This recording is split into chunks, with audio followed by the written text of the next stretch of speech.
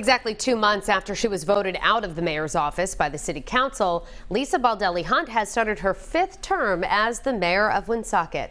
I'm Shannon Heggie. Now, she was voted out of office by the city council back in October, but then ran unopposed in November's election. She was sworn in tonight at the St. Anne's Arts and Cultural Center, along with other newly elected officials on the council. And that's where we find 12 News reporter Amanda Pitts live in Woonsocket now with how the mayor is looking ahead. Amanda? Well, Shannon, that's what tonight was all about. Looking ahead, moving forward, and making changes. The mayor said now that she is back in office, the first thing on her to-do list is to make sure what happened to her doesn't happen to future mayors. Two months to the day after being ousted from office, Woonsocket Mayor Lisa Baldelli Hunt is sworn back into office for a fifth term. Her inauguration took place at the St. Anne Arts and Cultural Center, the ceremony led by her son Sam. Yesterday marked the end of two shameful months where the city and its constituents were stripped of their voice and democratic rights.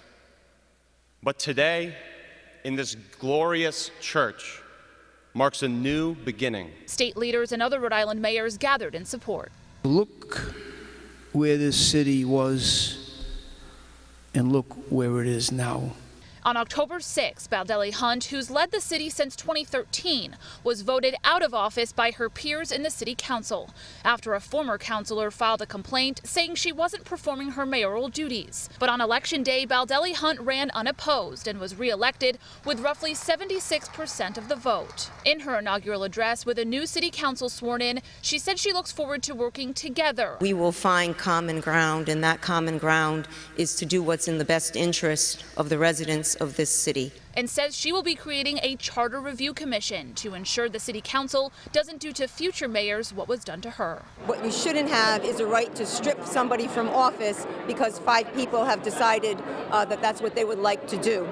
And we need to make certain that that does not happen again and does not happen to anyone else in the future.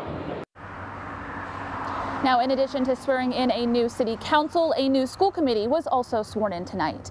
Live in Woonsocket, Amanda Pitts, 12 News.